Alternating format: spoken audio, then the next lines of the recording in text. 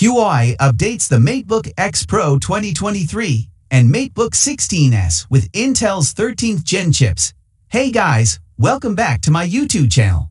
Huawei added 13th Gen Intel processors to the MateBook X Pro and MateBook 16S lineup and attached 2023 to their names.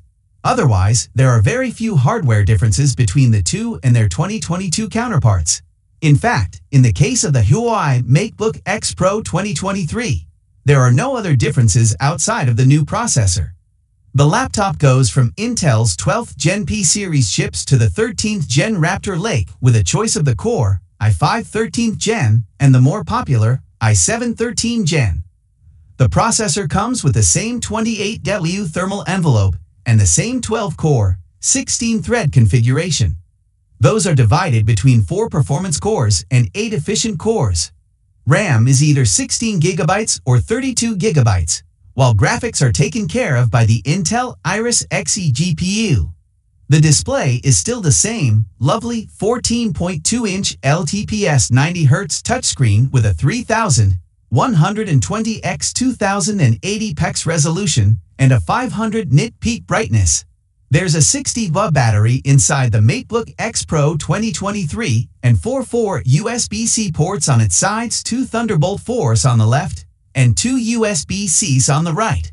The MateBook X Pro 2023 weighs just 1.26 kilograms and is clad in a skin-soothing metallic body.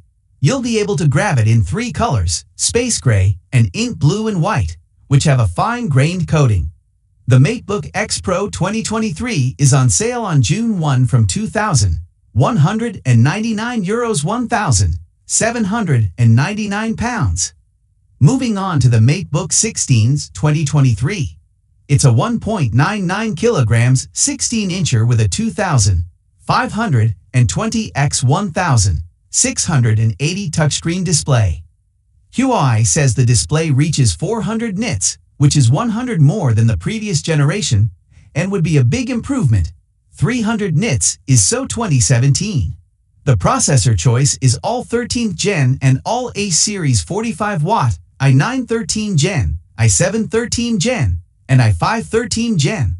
The MateBook 16S will be on sale on June 1 starting from 1,799 euros 1,499 pounds. Hope you guys enjoyed our video.